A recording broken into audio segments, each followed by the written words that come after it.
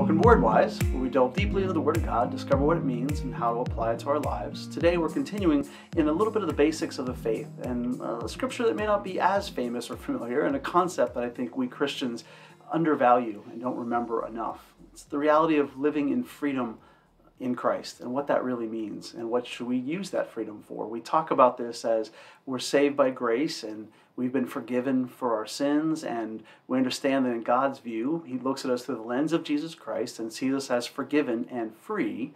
And that free part is really essential and it's really a delight of the Christian life. There's an old cheesy worship song from the 1990s that Brian loves called We Celebrate Your Victory. And it talks about this freedom that we have in Christ, that it was for freedom that Christ set us free, no longer to be subject from the yoke of slavery. And it talks about how we should revel in this reality and celebrate this reality. And though it's a cheesy worship song from a long ago, it still has a truth that I think carries us forward. And the freedom that we have in Christ needs to be something we remember every day and something we don't take for granted, but also that we understand how we are to use that freedom and how we are to live according to what the gospel calls us to live and what the Bible calls us to live. And so the book of Galatians has a lot about freedom. Paul is addressing people who had lived under the restrictions of the law and the burden of the law, the Old Testament law. And he's addressing believers that are now set free from that burden, but are needing to understand that they have responsibilities as well as rights in this new freedom we have in Christ. So the verses are just a couple verses out of Galatians 5. It's Galatians 5, 13, and 14. So follow along with us as we read from the book of Galatians. For you have been called to live in freedom, my brothers and sisters, but don't use your freedom to satisfy your sinful nature. Instead, use your freedom to serve one another in love. For the whole law can be summed up in this one command love your neighbor as yourself. As always, context is key, and Paul has been teaching throughout the book of Galatians about the differences of the old covenant under the law and the new covenant under grace and understanding the differences and how essential it is to live in this new reality of the new covenant that we live in grace and that grace has given us great freedom. Chapter 5 specifically, Paul addresses the, the idea that you could become a Christian and receive that grace and be saved by that grace and somehow then choose to put yourself under obligation and burden again. And he's, he's kind of railing against that. And he's saying, no, no, enjoy this freedom, revel in this freedom, and then use this freedom for very important new realities to live a different life, to live out what Jesus called us to do, which was to love one another.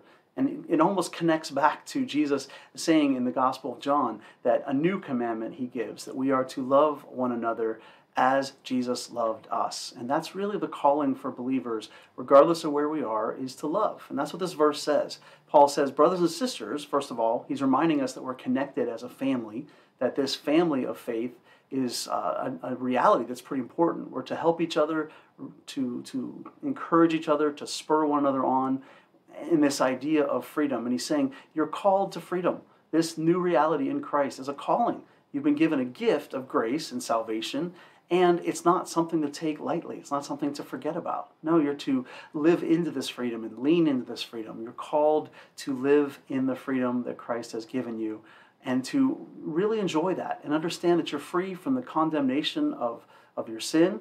You need to remember that every single day, that God is for you, not against you. That what the scripture teaches is that if you are in Christ, there is no condemnation, and that you stand forgiven and free. And then you take that freedom and you appreciate it, you thank God for it, and then you use it each and every day.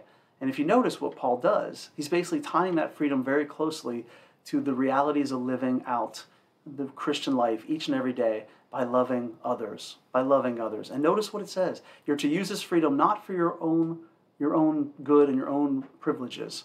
I think that's so often what non-believers think because they think that's too good to be true, that this grace idea is just too good to be true, which honestly it is, but we are to live out this grace and not fall back into a license to sin. Never does the scripture encourage us to treat grace lightly and to abuse grace. We're not given a, a, license to sin just because we're forgiven and free, and we're not to use that freedom just for gratifying our own selfish desires. Paul says it pretty clearly there, doesn't he? That you're not supposed to use this freedom to gratify or please your sin nature. Each and every one of us, though we are forgiven and free, and though God views us as his beloved children, we still have that sin nature present in us that wants to do wrong. And Paul's saying, don't give in to that. Don't use your freedom for those purposes. Don't feed that sin nature just because you live in freedom now. No, you're to live that, that freedom out by following Jesus' example and loving your neighbor as yourself. And notice what he calls us to do. Brothers and sisters, once again, we do this together. Once again, remembering this is freedom, not obligation. You're not, you don't have to do this. It's nothing about your salvation. This is not a works oriented reality.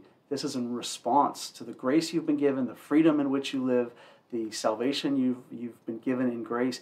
In response to all of that, you live to love one another, to love your neighbors as yourself. And notice what he says serve. Serve. That's a key word there, isn't it? You're to use this freedom to serve others. Not serve yourself, but serve others. And the way you do that is to love your neighbor as yourself. Jesus talked about the greatest commandments to love God with all your heart, mind, soul, strength. That's actually quoting Deuteronomy, verse, verse uh, chapter 5. And he's also then going on to the second commandment, which is like it, which is love your neighbor as yourself. That's quoting Leviticus 19:18. So these are not new concepts. He's just applying them in a new way. And he's saying this is not out of obligation or duty or religious obligation. No, out of freedom. And you're to use that freedom to serve others around you. And let that love be what distinguishes us. Let that love and service to others, including others that may not be part of your church family. Maybe your neighbors actually on your street or your neighbors in your local venue, maybe coworkers, maybe all sorts of folks just being willing to look around and serve those around you and making a difference with the power that God gives you and the freedom that God gives you. Not to live for yourself, but to live for God. That's what it's all about. So, Christians today, take a moment to remember that freedom, that you're not under the law, that you're under, under any religious obligations or any have tos or, or musts in that sense. I think we sometimes forget that. So, appreciate the freedom in which we, we live rejoice in that, revel in that, celebrate that, and then recommit yourself today to looking for those divine appointments that God has set for you, those, those people who may cross your paths, who you can serve, you can love, you can make a little difference in their day. Maybe in tiny little ways, at least what you would think is tiny, but sometimes God works through those little tiny efforts that we make to serve and love others, and they can become significant moments in that person's life and maybe even in your life. So use your freedom to serve to love your neighbor as yourself. And as we journey on together, encourage each other in this, help each other in this, and know that we're in this together as we all want to live out the freedom that we have in Christ. And remember, this is what comes from the Word of God. And as we all travel on together, we become more word wise. Thanks for joining us.